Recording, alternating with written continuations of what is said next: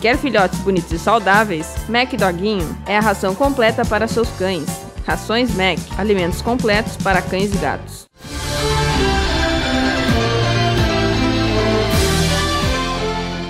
Confira agora as principais notícias do Brasil e do mundo na Lagoa TV. As prisões e condenações de políticos levantaram uma discussão sobre o fórum privilegiado.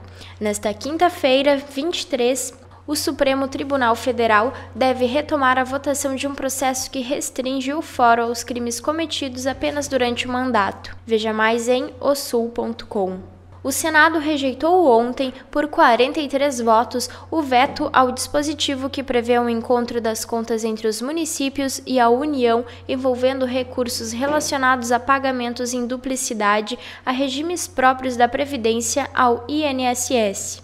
Pouco antes, a Câmara dos Deputados também havia rejeitado o veto por 300 votos. Veja mais em agenciabrasil.com.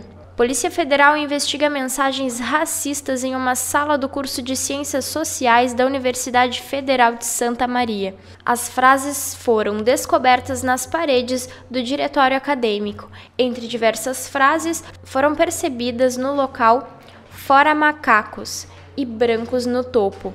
Veja mais em g1.globo.com. Em um novo movimento para tentar aprovar a reforma da Previdência, o governo do presidente Michel Temer agora avalia apresentar uma proposta com três medidas que comprometem o ajuste fiscal. Veja mais em folhawall.com.